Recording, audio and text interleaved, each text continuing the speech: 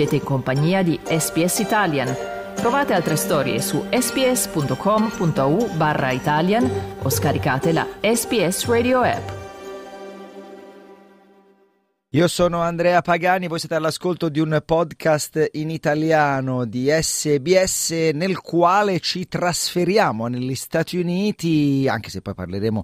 di politica internazionale, perché? Perché eh, si avvicina, sembra si avvicini l'ora della risposta iraniana a Israele e Joe Biden sta giocando un ruolo di primo piano per scongiurare quello che ormai tutti danno per scontato, per poi trasferirci davvero definitivamente negli Stati Uniti per seguire l'andamento della campagna elettorale che si risolverà a novembre con l'elezione del, del nuovo presidente statunitense, di chi succederà a Joe Biden. Per tutto questo siamo in collegamento con L'ex direttore dell'Anza, giornalista Giampiero Gramalli, esperto di politica americana. Giampiero, buonasera, grazie per essere con noi. Buongiorno a te Andrea e buongiorno a chi ci segue. Dunque, come detto, partiamo da questo allarme dell'attacco iraniano, della risposta iraniana a Israele, perché Joe Biden sta giocando un ruolo di protagonista nel tentativo di scongiurarlo. Ecco, vuoi ragguagliarci su quanto sta accadendo nelle ultime ore, Giampiero? Sì, ruolo da protagonista, ma eh, nel contempo ruolo un po' spuntato da quando Biden, eh, rinunciando alla corsa alla Casa Bianca, è un presidente a termine e quindi chi parla con Biden eh, sa che eh, non parla col futuro presidente degli Stati Uniti e può essere meno incentivato a venire incontro alle sue, alle sue richieste. In una vicenda in cui, come tu giustamente dicevi, si avvicina eh, l'ora della risposta, reazione, ritorsione iraniana a quanto avvenuto a fine luglio prima a Beirut con l'uccisione di un capo, di, di un capo militare di Hezbollah, milizia vicina all'Iran, e poi soprattutto a Teheran con l'uccisione del capo politico di Hamas mentre era ospite del governo iraniano nel giorno dell'insediamento del nuovo presidente iraniano. Che ci sia, che ci debba essere una risposta iraniana da quel giorno, da quel momento, lo sappiamo, l'attesa si è protratta per due settimane, per quasi due settimane e inevitabilmente più passa il tempo, più si avvicina il momento in cui questa reazione avverrà. Mi sembra improbabile che la diplomazia riesca a sventare la volontà di, dell'Iran anche agli occhi della sua popolazione di rispondere a quella che è stata percepita come ed, è, ed, è, ed era nei fatti una palese provocazione eh, di Israele eh, al regime di, di Teheran. Ciò detto, ci sono sforzi diplomatici per eh, evitare la reazione o per far sì che la reazione assomigli a quella che c'era stata ad aprile in circostanze analoghe ma meno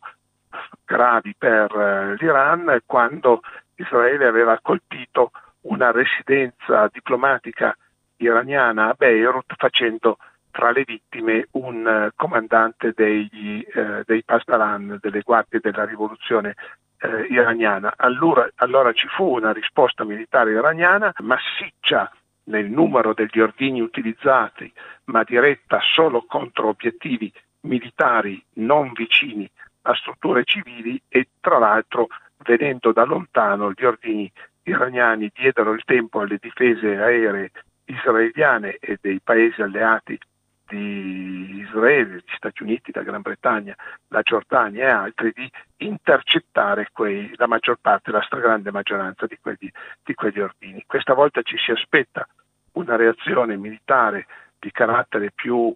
eh, incisivo o più pericoloso da parte iraniana, i negoziati servono appunto, le pressioni servono appunto a cercare di rendere questo passo di Teheran che eh, le notizie di queste ore sembrano rendere imminente con una ulteriore mobilitazione delle forze di difesa eh, israeliane e degli apparati militari degli Stati Uniti nella, nella regione eh, renderla un passo non irreversibile verso un'escalation del, del conflitto. Eh, mi sembra giusto ricordare eh, l'ultimo fatto in ordine di tempo che una telefonata del eh, cancelliere tedesco Olaf Scholz al presidente iraniano, telefonata in cui il presidente iraniano, pur eh, dicendosi disponibile o interessato a sviluppi diplomatici, ha però confermato che per l'Iran, anzi che l'Iran ritiene di avere diritto eh, di eh, colpire Israele in risposta alla provocazione subita e che intende, intende, farlo e su questo punto mi sembra che finora le dichiarazioni che vengono da Teheran siano eh, costanti e coerenti e non mi pare che la, democ- la diplomazia eh, statunitense, in particolare dell'amministrazione Biden, abbia frecce al suo arco per cambiare questa situazione. Tra l'altro anche il ministro degli esteri italiano Tajani, eh, parlando col suo omologo iraniano, ha detto che il mio collega dell'Iran mi ha detto che la loro reazione è inevitabile, quindi conferma questa coerenza da parte iraniana. Intanto ricordo a coloro l'ascolto che siamo in collegamento con il giornalista Giampiero Gramaglia, con il quale stiamo analizzando la politica americana sia sul campo internazionale che sul campo interno e ci trasferiamo quindi adesso proprio nel Nord America perché siamo in piena campagna elettorale che nelle ultime settimane ha subito uno scossone con il passo indietro di quello che avevi definito appunto il presidente spuntato. Joe Biden sostituito da Kamala Harris a pochissimi giorni dalla convention democratica che se non mi sbaglio ratificherà qualcosa che ormai è già eh, quasi ufficiale cioè la candidatura candidatura di Kamala Harris e del vice Tim Walz, coppia che appunto è nel bel mezzo di un mini tour. Ecco, vuoi partiamo dal, dal mondo Dem, cosa sta succedendo per Harris e Walz, quali sono i gradimenti e eventuali cambi di strategie politiche rispetto a Joe Biden, Giampiero? Beh, intanto c'è un cambio di immagine eh, rispetto all'atteggiamento eh, serio ma sempre compassato anche per controllarsi nel timore di qualche sbavatura lessicale o di qualche infortunio sui, sui nomi o sui termini utilizzati di, di Biden, abbiamo una candidata che eh, è molto più prorompente nel rapporto con eh, il, il, i suoi sostenitori e usa molto il sorriso e qualche volta anche la risata nel, nell'incontro col suo pubblico. E eh, questo si è già tradotto eh, un, nel, nel, nel fatto nuovo rispetto anche alla campagna del 2020 di avere un, un largo seguito, una larga audience dell'ordine di migliaia e migliaia di persone ai eh, comizi democratici, mentre finora eravamo abituati che i comizi di Trump erano molto affollati e quelli dei democratici erano per eh, pochi intimi. E questo dato numerico sembra avere preoccupato anche Trump, che lo sappiamo dal, dal 2016, anzi dal 20 gennaio del 2017 ha un po' l'ossessione dei, dei, dei, numeri, continua a sostenere che c'era più gente alla sua inaugurazione che non alla prima inaugurazione di Obama nel 2008-2009, eh, nonostante le foto e le testimonianze dimostrino il contrario, e eh, la scorsa settimana in una conferenza stampa ha addirittura detto che c'era più gente al suo comizio che non a sentire Martin Luther King nel giorno del famoso discorso a Eve Dream del 1963. Patisce Trump i numeri in aumento di, di Harris, però Harris eh, scegliendo eh, Tim Walz, governatore del Minnesota, eh, personaggio dalle eh, molte sfaccettature, un uh, insegnante uh, di geografia, e di storia, di materie umane, è un coach di un football uh, americano, è stato per 24 anni nella Guardia Nazionale, quindi ha anche un passato militare, è stato deputato per 12 anni, mi sembra, del, del, suo stato, del Minnesota, prima di diventare governatore del, del, dello Stato, quindi un personaggio con esperienza, tocca molti aspetti della, della vita eh, americana, però si presta anche, si espone più che prestarsi eh, alle inevitabili punture di spillo dei eh, repubblicani che gli rimproverano, per esempio, di avere lasciato la Guardia Nazionale dopo 24 anni di servizio proprio nell'anno in cui la sua unità veniva mobilitata in Iraq. È vero che lui nel frattempo era stato eletto anche deputato, quindi aveva un altro mestiere, ma questo non impedisce ai repubblicani di utilizzare questo argomento. Eh, gli rimproverano per esempio che è andato a insegnare inglese in eh, Cina da giovanotto, eh, Waltz alla stessa età, è nato nello stesso anno di Kamala Harris, entrambi hanno 60 anni, e mm, nel 1989 aveva 29 anni e andò in Cina a insegnare inglese in una provincia cinese, arrivò in Cina che era il tempo di Tiananmen e i repubblicani gli dicono perché sei rimasto lì e non sei venuto via e lui dice avevo un lavoro da fare, l'ho, l'ho fatto. Insomma, eh, Waltz è oggetto di, di, molte critiche. Bisogna dire che eh, anche il vice che si è scelto Trump, eh, J.D. Vance, è oggetto di molte critiche e mentre Waltz cerca di ehm, rispondere alle critiche smorzandole, eh, Vance invece quando risponde alle critiche le acuisce, cioè eh, crea ulteriori, ulteriori polemiche. E, e, quindi in questa fase i due capi cortata, eh, Trump e eh, Kamala Harris, sono entrambi impegnati a portare avanti la loro posizione, ma anche a eh, coprire i fianchi dei loro vice che in qualche, in qualche misura sono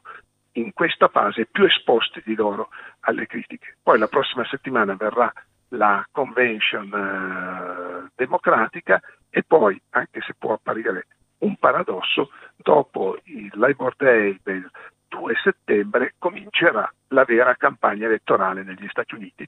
che andrà avanti fino al 5 novembre. Uno dice ma sono, è già un anno che non si parla d'altro, sì, è vero, però la campagna elettorale ufficialmente dura 60 giorni e incomincia il, il giorno dopo, il, il, primo lunedì dopo la prima domenica del mese di settembre, che quest'anno è il 3 settembre. Siamo quindi soltanto in fase di riscaldamento, Giampiero, per quanto riguarda la campagna elettorale. Dunque, parlavi della convention democratica che si terrà, in cui Biden eh, darà l'ultima spinta prima di passare ufficialmente il testimone in questa staffetta elettorale. Ecco, secondo te quale sarà, o almeno a quale eh, spinta sta pensando Biden? Quale potrebbe essere l'argomento migliore da eh, fornire a Harris per darle proprio lo slancio finale? Più politica internazionale o temi interni?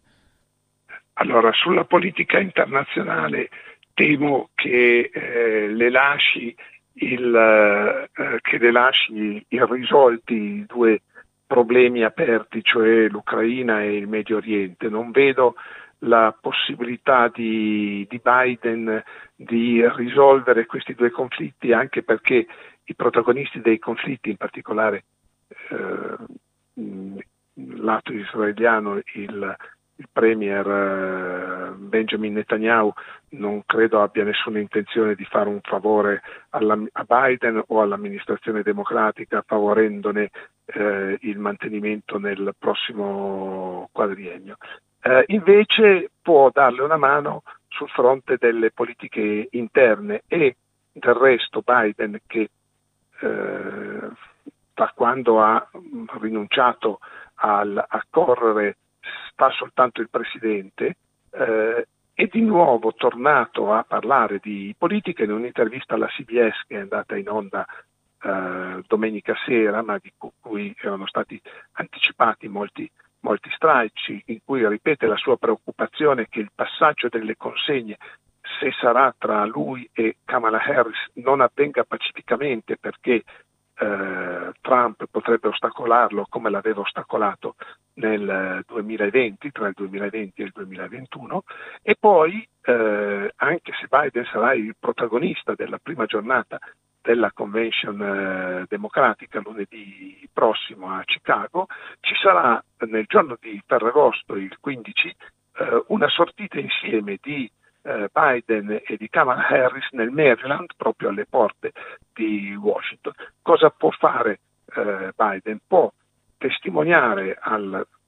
agli elettori le cose positive fatte dalla sua amministrazione in materia di economia, in materia di società, in materia di istruzione. C'è tutta una serie di cose che, Biden, che l'amministrazione Biden è riuscito a, a, fare e che spesso non vengono eh, riconosciute o non vengono percepite dal, dall'opinione pubblica e può anche aiutarla a tenere vivo il tema che è uno dei, dei eh,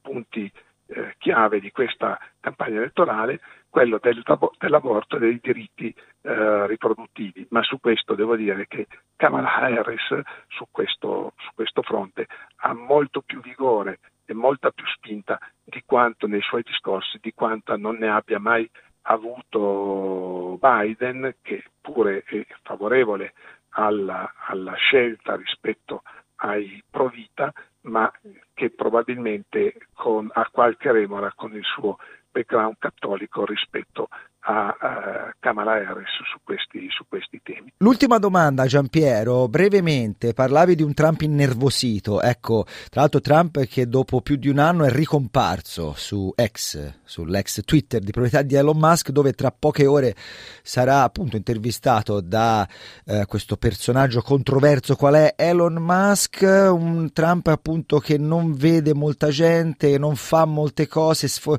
cosa sta bollendo nella pentola repubblicana? Americana in questo momento? Ma un po' può esserci anche il fatto eh, che Trump non sarà mai disposto ad ammettere, né che la campagna di Trump potrà ammettere, che il eh, candidato repubblicano sta tirando il fiato, perché eh, la campagna, eh, le, le, presidenziali americane sono incominciate come corsa alla Casa Bianca nell'estate del 2023, quindi è un anno che eh, si va avanti, Trump ha dovuto affrontare non solo le primarie perché aveva degli avversari eh, che non l'avranno impegnato a fondo, ma comunque c'erano, ha dovuto anche affrontare tutta una serie di percorsi giudiziari che sono tuttora aperti, anche se con la complicità della Corte Suprema è riuscito a rinviare sine die i casi, i, i processi più, più spinosi. E, e poi ha, ha, dovuto far fronte a questo fatto nuovo del cambio di cavallo dei democratici che gli ha eh, un po' alterato le, le, strategie. Un conto era avere come avversario eh, Biden, lo potevi colpire per esempio sul fronte dell'età, un conto è avere come avversario Harris che ti può colpire sul fronte dell'età perché sei tu il vecchio della partita in questo, in questo momento. E poi dicevo tirare un po' il fiato perché lunga la campagna eh, la, la, la, fase più impegnativa deve ancora incominciare, passerà attraverso almeno un dibattito, ma probabilmente più di uno, eh, televisivo tra Trump e Harris e probabilmente non saranno così a senso unico come era stato quello del 27 giugno tra uh, Trump e, e, Biden. E quindi Donald uh, Trump, 78 anni compiuti, eh, forse ha bisogno di eh, riprendere le forze per l'ultimo, l'ultimo miglio che durerà, che durerà due mesi. E poi c'è anche il fatto di dover ricalibrare effettivamente la campagna su un'avversaria, su un rivale diverso eh, che ha punti di forza e punti di debolezza, su cui Trump e Vance, il suo vice, hanno finora usato l'arma dello sfottò o della eh, come dire, messa in dubbio del, de, de, degli aspetti di genere, degli aspetti razziali e non è sembrata una scelta molto felice perché eh, è piaciuta soltanto ai trampiani più trampiani, ma qui eh, il problema sia di Trump che di Vance dovrebbe essere di conquistare il, il favore non dei loro eh, supporter dichiarati che sono sì e no il 40% dell'elettorato, ma di quelli che stanno in mezzo tra i trampiani dichiarati e i democratici a, ad ogni costo o gli anti-Trump ad ogni, ad ogni costo. Eh, quindi eh, Trump sta ricalibrando la, la sua campagna e eh, ha trovato, trova questa spalla forse non insperata e forse senz'altro frutto di eh, negoziati, di trattative fra, fra i due, eh, della variabile impazzita di queste elezioni che Elon Musk, eh, che dichiaratamente prende posizione a favore di Trump, non solo ospitandolo sui suoi social, non solo levandogli i, i paletti che erano, erano stati messi prima che acquisisse lui Twitter, divenuto ora X, non solo foraggiandolo con eh, decine di milioni di dollari, anche se la cifra di 40 non è stata poi confermata da, eh, da, da Elon Musk eh, al mese, ma anche dandogli spazio mediatico. Eh, devo dire che la, la, figura di Musk si sta rivelando eh, come dire, non una figura che favorisce la pace sui fronti sui fronti di guerra aperti e mi sembra anche che non favorisca la ricomposizione di un dibattito nazionale negli Stati Uniti meno divisivo e meno polarizzato di quello creato da Trump stesso. E sicuramente torneremo a parlare di questa campagna elettorale che come detto non è ancora iniziata, quindi ci sarà tempo per farlo e nel frattempo Giampiero Gramaglia grazie e buona serata. Grazie a te Andrea e una buona giornata a chi ci ha seguito. Cliccate mi piace, condividete, commentate, seguite SPS Italian su Facebook.